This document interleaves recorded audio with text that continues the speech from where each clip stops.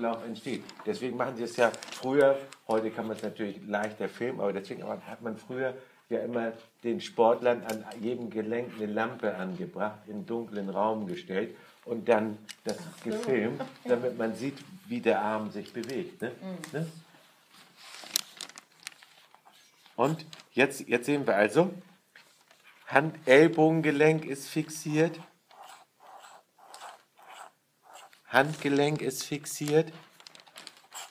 Und jetzt kommt, und ihr seht, wenn ich das jetzt so schreibe, alles aus dem, aus dem Schultergelenk heraus, dann entsteht das hier. Und jetzt kommt, Der Druck, der Druck der Finger. genau, jetzt kommt der, jetzt kommt der Druck der Finger.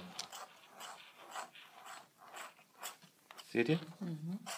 Das, ist- das ist jetzt die Essenz des essa não pode filmar e, e... Uhum. No, é se tu pones esse nariz abre, é venha a mis coisas, não destrua mi... Uy, mira cómo se pone todita corriendo. correndo. Tienes que cambiar tu cara, bebé.